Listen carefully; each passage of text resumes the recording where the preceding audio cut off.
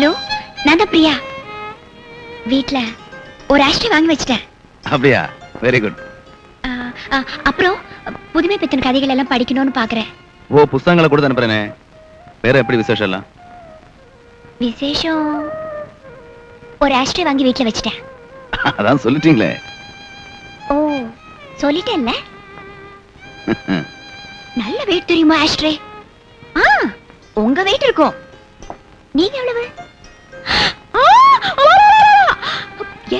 கிலோவா ஆமா ஆமா தொப்பையே பத்து கிலோ இருக்குமே.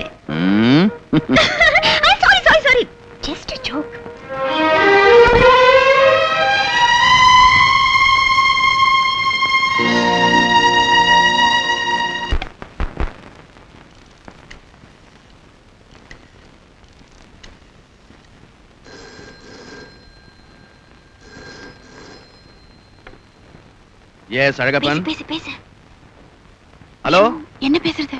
சும்மா ஹோட்டல பத்தி பேசேன் Hello? ஐ லவ் யூன்னு சொல்லு. ஹலோ ஹலோ கண்மணி பேசுறேன்.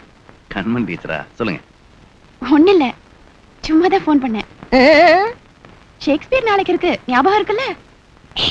ஓ ஞாபகம் இருக்கே. கிளாஸ்ல சந்திக்கலாம் சரி. என்ன கேள்வி கேட்டு மாட்ட போறாங்களா? தப்பா நினைச்சுக்காதீங்க. ஐ லவ் யூ ஐயோ. ரொம்ப தேங்க்ஸுங்க. நீ ரொம்ப தேறிட்டக்கா. அதுக்கு அவர் என்ன சொன்னாரு? என்ன சொன்னாரு? எப்படி இவ்வளவு தைரியம் வந்தது உனக்கு?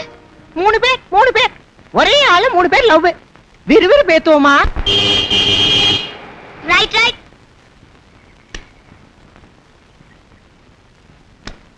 ஏன்டா இங்க உட்காந்துருக்கீங்க படிக்கிறோம்.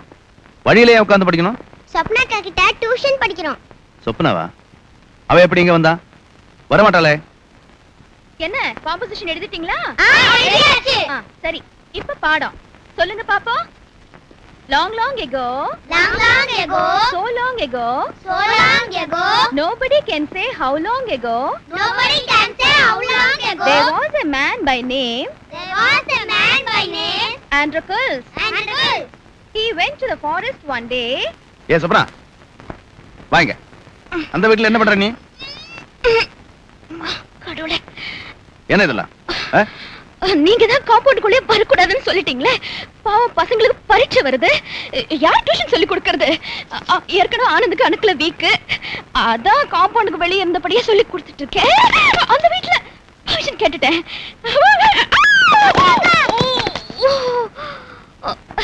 ஒண்ணும் இல்ல நோ ப்ராப்ளம் என் கால் மட்டும் உடைஞ்சு போச்சு. சரி சரி. மேனத்தை வாங்காத. உள்ள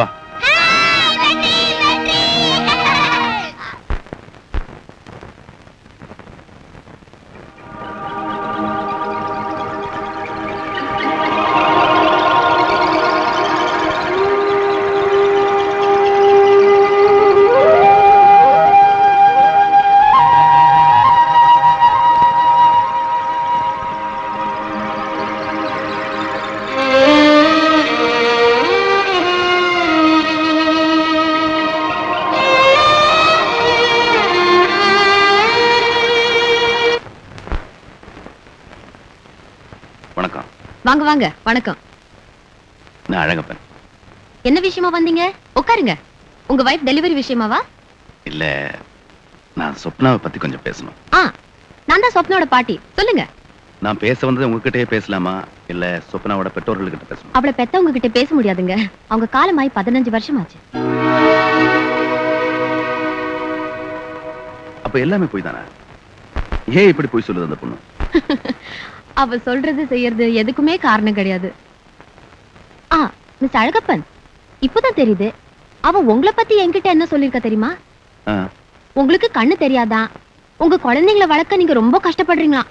அதனால உதவிக்காக அடிக்கடி உங்க வீட்டுக்கு போயிட்டு வரதா சொன்னா.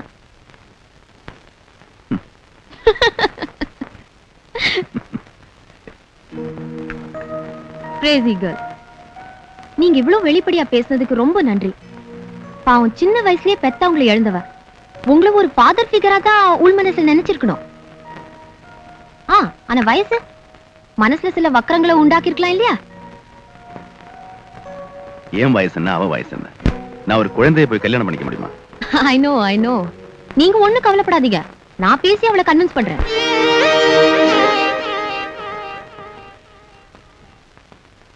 ஐ லிப்ஸ்டிக்கா புதுசா இருக்கே? ஆ. நீ ரொம்ப ரொம்ப முன்னேறிட்டக்கா. இம்ப்ரெஷன் விழாம ஜாக்கிரதையா இருந்தா சரி.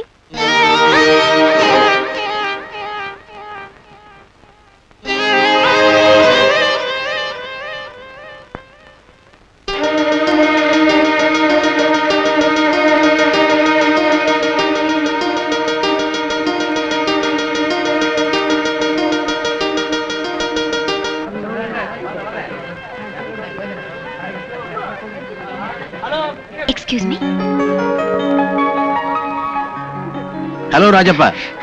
வாங்க. மை பெஸ்ட் விஷஸ் டான்ஸ் பத்தின புக்ஸ் உங்களுக்கு பிடிக்கும். இது உங்களுக்கு எத்தனாவது பிறந்த நாள்? ஐம்பத்தாறு.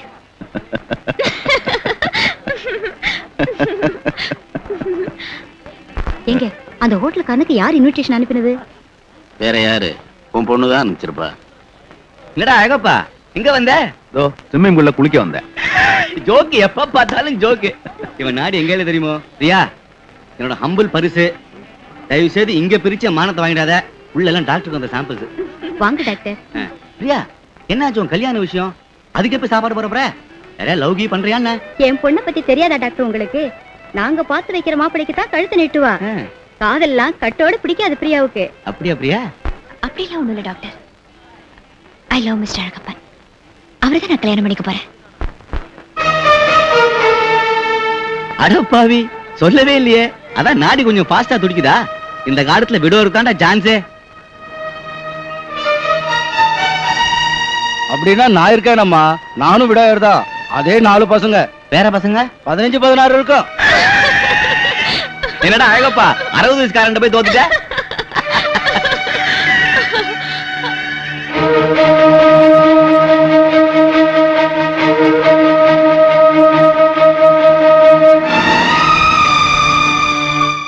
நீ புத்திசாலித்தனமா உன் பொண்ணை மடக்க பார்த்த?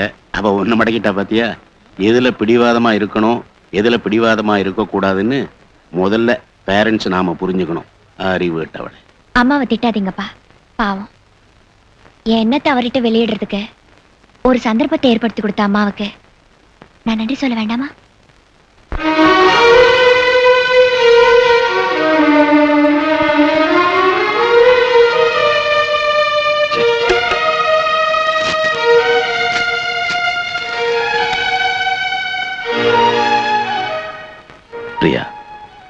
காதல் என்பது ஒரு அபூர்வ உணர்வு.